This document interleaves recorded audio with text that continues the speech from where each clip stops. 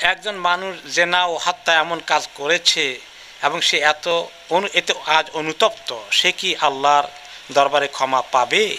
কীভাবে সে বুঝবে আল্লাহ তাকে ক্ষমা করেছে? সে কি জান্নাতের আশা করতে পারে? সোহান আল্লাহ বনি ইসরায়েলের লোকটি কতজনকে খুন করল? নিরানব্বই জনকে। তার নাম কি? আমাদের দেশে শুনছি নিজাম ডাকাত।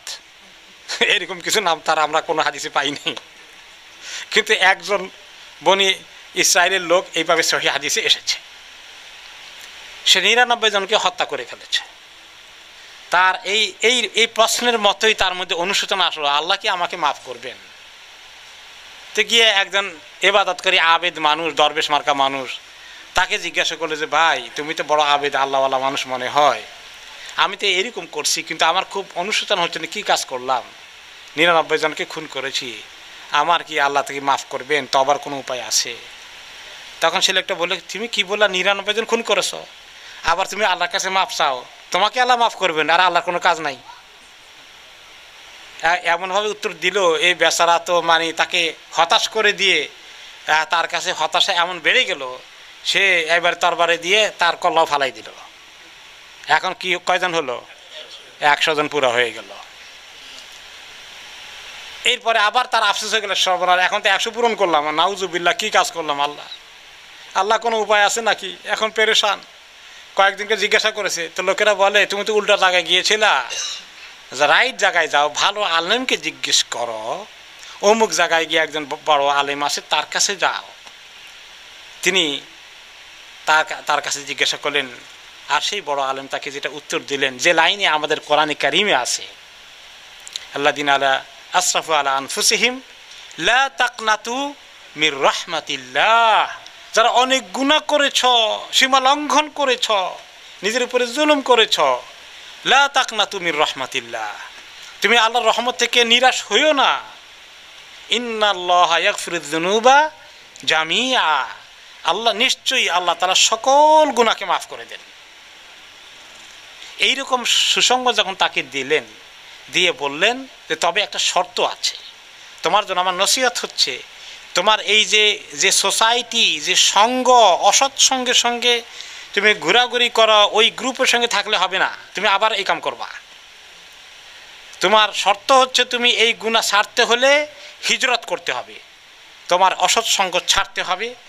এই এলাকা ছাড়তে হবে। অমুক এলাকায় যাও, যেখানে কিছু ভালো মানুষ আছে, নেককার আছে। আমি পাঠিয়ে দিই, তাদের কাছে তুমি চলে যাও। তাদের কাছে থেকে থেকে তুমি নেকির আমল শিখো। গুণার থেকে বেঁচে থাকো। সৎসঙ্গ স্বর্গবাস, অসৎসঙ্গ সর্বনাশ। এই বুদ্ধি তাকে দিলেন। তো তিনি চলে গেলেন। যা, যাওয়ার পথে তবা করে ওদিকে চলে যাচ্ছেন। যেতে যেতে মাধব, মধ্য রাস্তায় কি হয়ে গেল? তার মালাকুল মৌত চলে আসলো। মৃত্যুর সময় হয়ে গেল। এখন মৃত্যুর সময় হয়ে গেলে আল্লাহ তালা দুই দল ফ্রেস্তা মৃত্যুর জন্য রেখেছেন। একজন হলো তাদের লিডার, তার নাম আজরাইল, কিন্তু এটা সহি কোনো হাদিসে আজরাইল নাম নাই।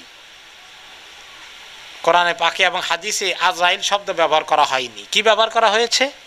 মালাকুল মৌত মৃত্যুদানকারী ফেরেস্তা মৃত্যু ফেরেস্তা এই ফেরেস্তা তিনি লিডার একজন, কিন্তু উনি প্রত্যেকটি রুহের পিছনে নেককারের জন্য এক ধরনের ফেরেস্তা ওনার বিরাট গ্রুপ ব্যাটালিয়ন নিয়ে আসেন। আর গুনাগার কাফের বেদিনের জন্য মালাকুল মত আরেক ধরনের গ্রুপ অফ ফেরেস্তা নিয়ে আসেন। এখন এই দুই দল ফেরেস্তা আসে। এক দল হলো নেককারের রুহ কবজা করবে তারা, আরেক দল হচ্ছে গুণাগারের রুহ কবজা করা। দুই গ্রুপ আসছে। দোনো গ্রুপ বলে যে আমাদের দায়িত্ব তার রুহ কবজা করা।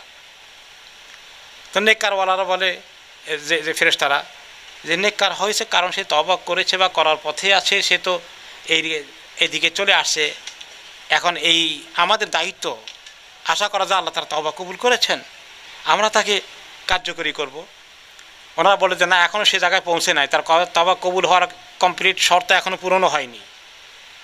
কাজে স্টিল সেই গুণাগার আমরা তার দায়িত্ব পালন করব। উভয় ফেরেস্তা তখন কেউ ছাড় দিচ্ছেন না। তখন সর্বশেষ চলো আল্লাহর কাছে যাই। উভয় দল আল্লাহর কাছে গেলেন। গিয়ে ফয়সালা চাইলেন।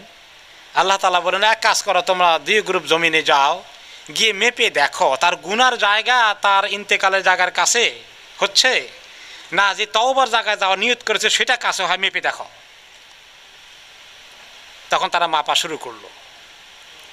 যদি দেখো যে তওবার জায়গার কাছে হচ্ছে তাহলে তাকে নেক নেককারের খাতায় নাম লেখিয়ে ফেলাও আর যদি দেখো যে গুনার দিকে কাছে, তাহলে সেদিকে তার নাম লেখানো হবে। আর সেই অনুযায়ী তার রুখ কবজ করতে হবে। জমিন, তখন কিন্তু সে একটু এখনও গুনার কিছু কাছে রয়ে গেছে, আর তওবার জায়গাটা একটু দূরে আছে। একদম মিডল পয়েন্টে না, একটুখানি বরঞ্চ তওবার জায়গা একটু দূরে। তখন আল্লাহ তালা জমিনের দুনো অংশকে হুকুম দিলেন, এই যে গুনার জায়গার জমিন, তুমি ছোট হয়ে যাও। বা তুমি তুমি লম্বা হয়ে যাও।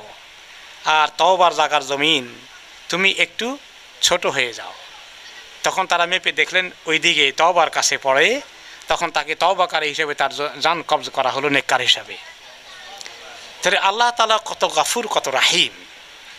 এখন এই যে অনুতপ্ত কি পরিমাণ হয়েছে, এখন কেউ যদি এরকম মনে করে, জেনা করে গুণা করে, মানুষ খুন করে, অসুবিধা নাই তবা করলে সব ঠিক হয়ে যাবে।